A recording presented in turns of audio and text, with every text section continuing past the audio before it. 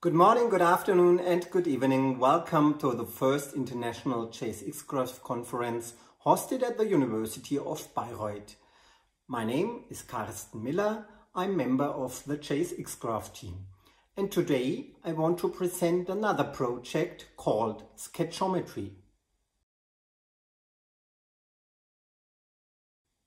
Our JavaScript-based library JSXGraph is perfect for visualizing mathematical content like interactive constructions, function graphs, or diagrams.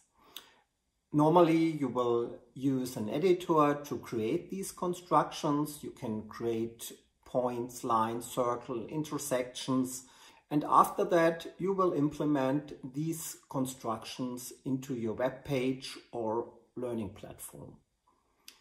At school, sometimes it's a little bit different. You want to do your own constructions. The students are asked to do constructions step by step, and therefore you will need a graphical user interface. For Sketchometry, we created such an user interface, and the foundation of the software is JSXGraph and uh, I want to show you some of the features of our software. Okay, let's start with sketchometry. I start with a new board and I want to do an interactive construction. Therefore, I need a tool and that tool I have always with me. It's that, it's my finger. And with my finger, I can sketch on the board. For example, I want to draw a circle, so I just sketch a circle on the board. If I want to draw a line, let's sketch it. Here it is. And so you can draw and sketch simple objects like circles, lines or triangles. And these objects are converted into interactive constructions. For example, I can change the size of the circle, I can rotate the line, or I can alter the vertices of that triangle. With sketchometry, you can sketch basic objects like lines, circles or triangles, and the software converts them into exact ones, and these resulting objects can be changed in position, size, you can rotate them, or you can change the shape of a triangle, for example. But normally at school, if you're constructing, you want to use more complicated constructions. And therefore, we created a special gesture recognition and I want to show it to you.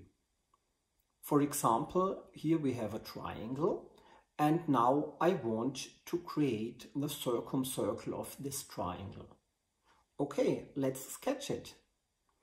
I draw a circle through the three vertices A, B and C of the triangle and the circumcircle appears.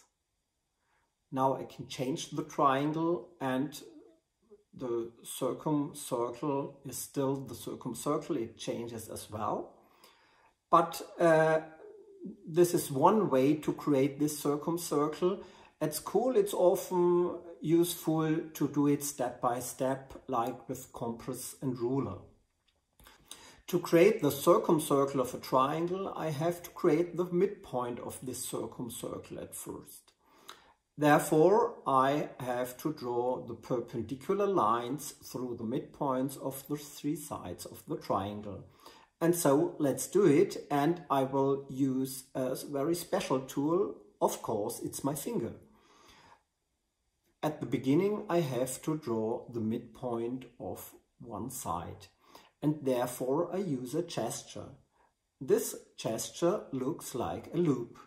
I start at point A, mark this point A, draw a loop, and then I will mark point B and when I lift up my finger, a midpoint appears. And then I want to draw a perpendicular line. And that's very easy as well. I just have to draw this perpendicular line and therefore I sketch the right angle. I start outside the triangle, go to the midpoint, mark the midpoint point by sketching over the midpoint, and then I mark the side of the triangle. When I lift up my finger, the perpendicular appears. So it's a very easy, intuitive way to do constructions. I need the other perpendicular lines as well.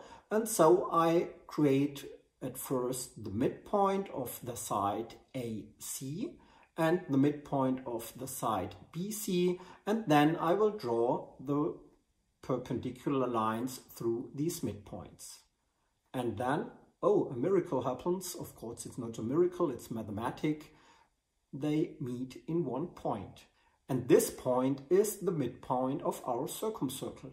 So I will mark this midpoint and here Sketchometry asked me which intersection I want to draw because for an intersection I will need only two objects and in this case we have three objects so I choose one situation, for example the first one and now I have the midpoint of this circumcircle.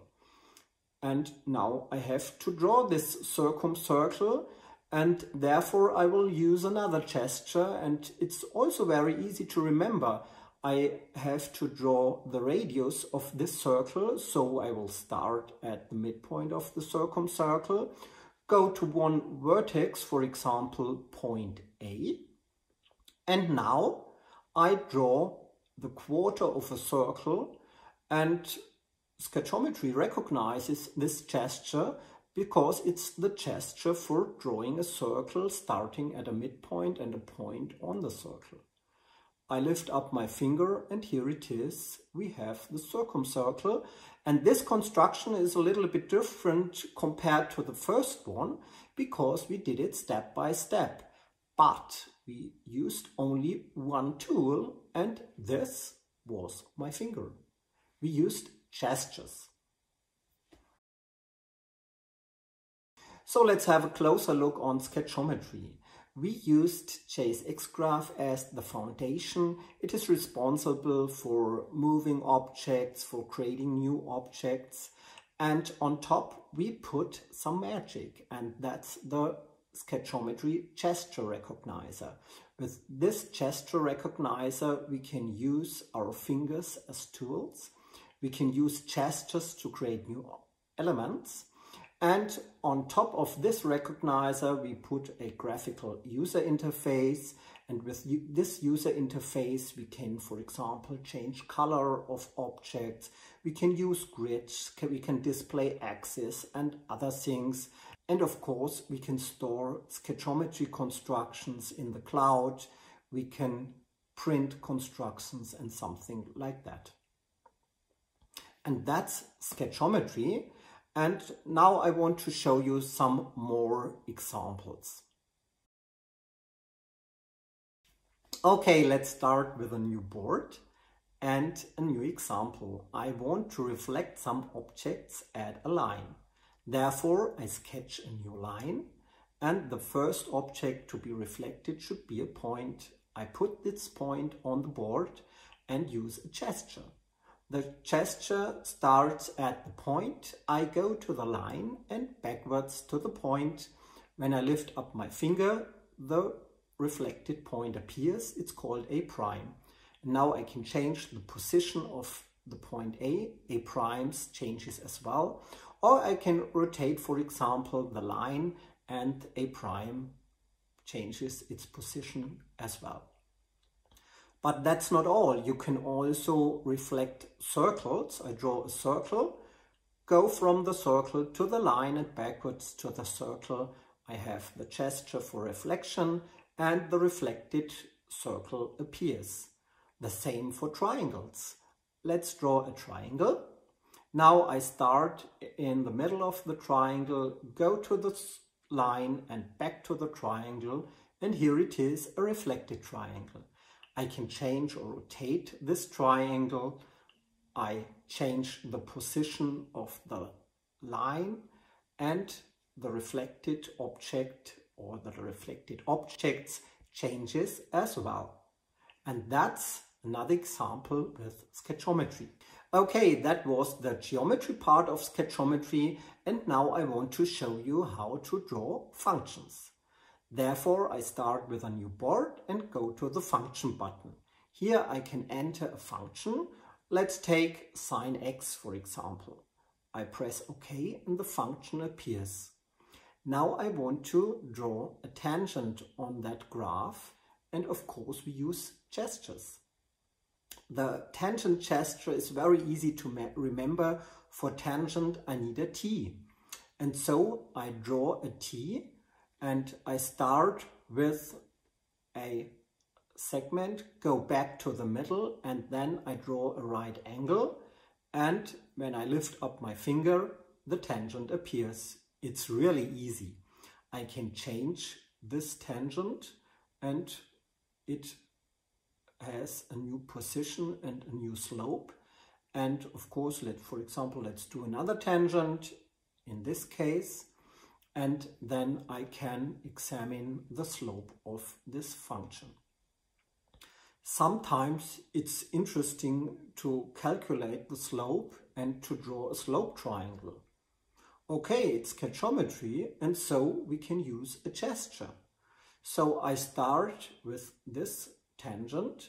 I use the intersection point between the tangent and the function graph. I draw a triangle. I start uh, going to the right, then up and back to the intersection points. And here it is, the slope triangle. I can change the tangent and the slope triangle changes as well. It's very easy, isn't it? So what's so special about sketchometry? Of course, it's the gesture recognition. We can use our finger to create many objects and we don't have to choose a tool uh, out of a menu. We just use our finger. And the gestures are also very easy to remember because we created these gestures uh, in any case close to the object. You want to draw a perpendicular line, you only have to draw the right angle. You want to draw a tangent, just draw a T. You want to draw an angular bisector, it's also very easy. You go on one leg to the intersection points of the two lines, go to the position where the angular bisector should be and go back to the intersection point and on the other leg so you have marked the two legs and the angular bisector appears. To remember all these gestures we created an overview with all gestures on two sides. It's a PDF document and you can print it for your students and so you have all gestures with you. Here you can find the perpendicular line, how to create a parallel line, how to use a tr slope triangle and all the other things as well.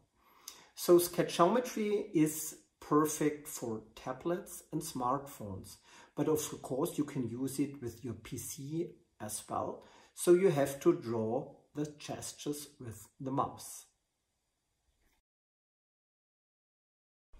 So everything about sketchometry you can find on our website sketchometry.org. You can even start sketchometry with only one click. You don't have to install the software. It runs in the browser as JSXGraph as well. So if you want to try it, just click on the start button. But of course, we also have apps for Android and iOS and some additional material, the gesture overviews in the documentation section of the website, and some worksheets for schools where it is explained how to use sketchometry at school. These worksheets are divided into two parts, one construction parts, where the students are asked to create a construction. And then the second part is the exploration, exploration part, where the student should find some math mathematical coherences in a construction.